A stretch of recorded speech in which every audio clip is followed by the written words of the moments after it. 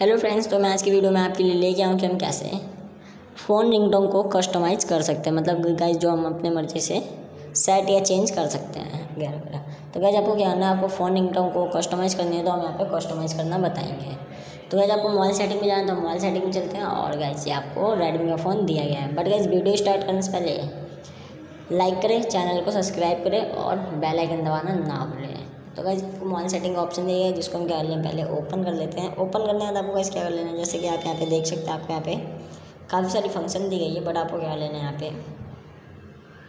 Sound off vibrate पर जाना है। तो गाइज़ यहाँ पे आपको जो साउंड ऑफ़ वाइब्रेट का ऑप्शन दिया हुआ है, ये आपको यहाँ पर दिया गया है, जिसको हम क्या लें पहले ओपन कर लेंगे। तो गाइज़ आपका साउंड ऑफ़ वाइब्रेट है, ये आपको ओपन कर लेंगे। ओपन करने के बाद आपको गाइज़ क्या करना है? फ़ोन इंगटोन को कस्टमाइज़ करनी तो यहाँ पे फ़ोन इंगटोन पे क्लिक कर लेंगे।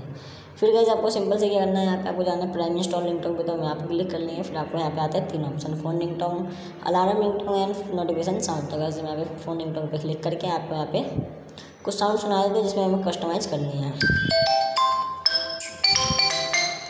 तो गाइज़ देख सकते हैं आपको यहाँ पे काफ़ी सारी रिंगटोन दी गई हैं। सोलह सेकंड की फोर्टी सेकंड की, फोर्टीन सेकंड की, दस सेकंड की, फिफ्टीन सेकंड की फिर सिक्सटीन सेकंड की, ट्वेंटी टू एंड तो मैं ये वाले रिंगटोन मेरे काफ़ी पसंद आ रहा था, मैं रख के और बैग आ जाता हूँ तो गाइज़ जो आपका फ़ोन रिंगटोन है वो आपका कस्टमाइज हो चुका है। तो गाइज़ यहीं हमारी वीडियो समाप्त होती है और अगली वीडियो के लिए हमारे साथ बने रहें। अगर आपको वीडियो पसंद आए तो लाइक करें चैनल को सब्सक्राइब करें और बेल आइकन दबाना ना भूलें। Thank you